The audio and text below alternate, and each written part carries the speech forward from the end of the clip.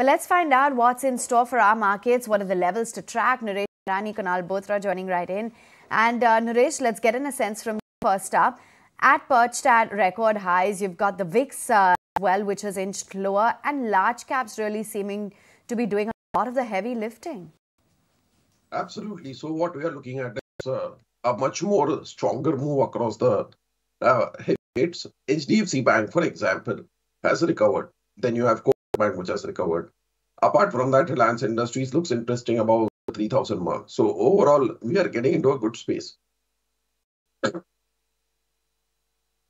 Nooresh, uh, I don't know what you've been up to, but that's a really sour throat. Take care of that. Kunal as well joins in on the studios. Uh, Kunal, hi, morning. Uh, in shape, I mean, index after index, stock after stock. It's a long list of uh, all-time highs. Well, yeah, it's it's a classic sector rotation, which is at I think you know with large cap names like Reliance looking quite strong, and then you have the likes of L&T making a comeback. You have the banking stocks, the private sector banking names making a strong comeback. What I uh, you know really like about the market texture specifically, it's uh, you know the market internals where there has been a dramatic change in the open interest. So, you know, I think last week or so, I flagged off that there was a 40% drop in the open interest for Bank Nifty. That was, uh, you know, that that put Bank Nifty OI to one of the lowest in the last, I think, six seven months for the uh, index.